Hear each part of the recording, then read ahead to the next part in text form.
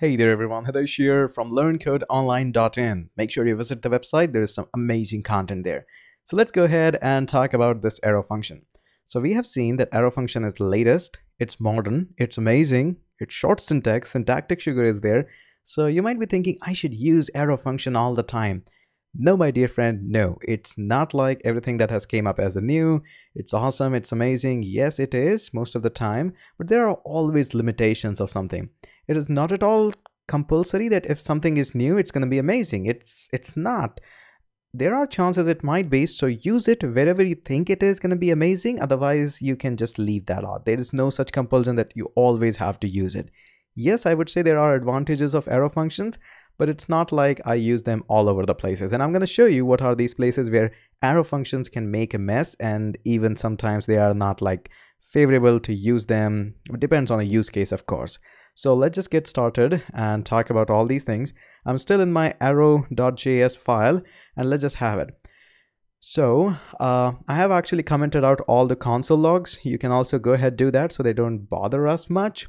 So what we're gonna do, we are create we're gonna create an object. So let's just have an object for the camera is lying on my desk. So let's have a camera. So cameras, oops.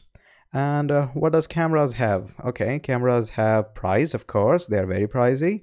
Uh, this one is not so much. So I'm gonna go for $600. That's easy.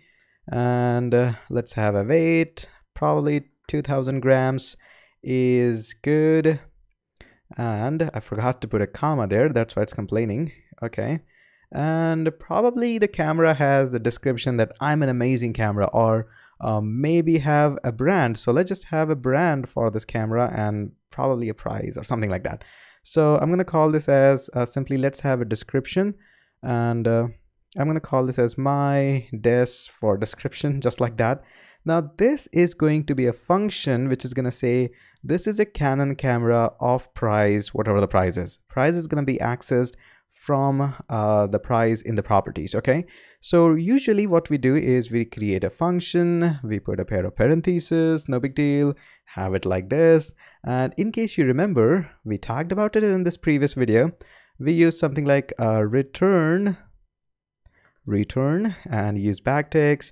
And we say something like uh, this, oops, this uh, come on this canon come on canon camera is off and i'm gonna say price in here so just like that.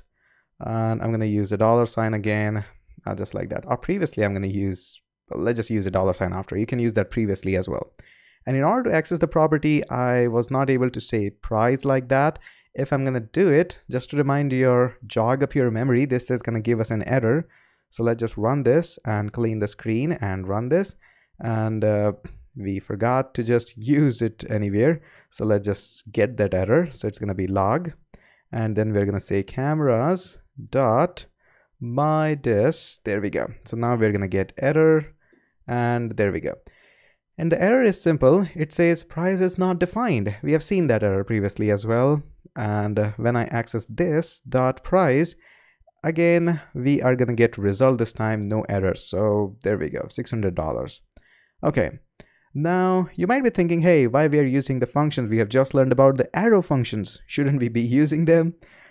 Nope. You should not be using arrow function in this particular use case. There can be different where you can use that. In this use case you cannot. Let me walk you through why. So what is basically uh, arrow functions? How do you use them?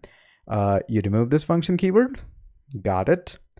Uh, you use these arrow signs. Got it. No errors, no problem.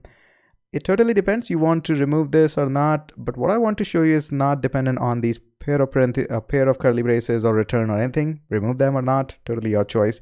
But now, since we have converted this function into an arrow function, this is going to give us an error. And this is a classic, classic beginner mistake. Don't do that, please. Uh, and it says the Canon camera is of undefined price. So what is this undefined here? Now, this one more thing about arrow functions is it doesn't do anything automatically for you. Now in JavaScript, the huge, huge problem was this keyword. This keyword was a nightmare in JavaScript. It just automatically binds it. Sometimes it binds to the window object, sometimes it binds to the function itself, and there was no way to control it obviously uh, programmers used to hack around it, pass on a different functions and all of that. But now in the arrow functions, nothing is binded, neither the arguments, neither the this. So they are completely free.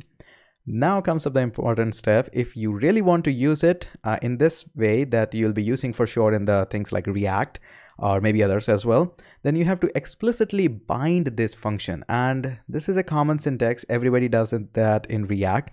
Right now, I cannot show you this, how you can bind that, because for that, I have to create a use case scenario that involves React, but probably in the future, we can do something in the upcoming videos. So make sure you hit the subscribe. That was smooth. Uh, but again, so please, please, please don't do this in here. Okay. So this is the worst case scenario where you can have uh, this kind of this statement and function. So please don't use that. Now here's my couple of uh, word of sense that I wanted to give you that uh, please never use arrow functions in methods and constructor. You cannot use them there. So, but again, there can be use case scenario, but most of the time people like to avoid them. Okay. Now next two minutes is for only those people who do understand a little bit about Redux or takes interest that probably in future I'm gonna learn Redux somewhere. For rest of the people, you can just go off. That's it for this video.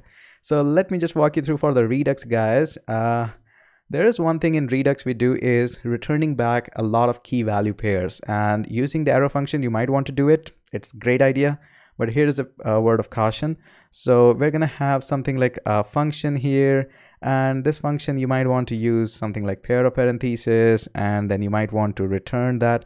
And what we usually do is this kind of stuff where you have a key and you have probably a value val value there we go and uh, if you will be doing something like this in Redux, it can get you in a little bit of trouble.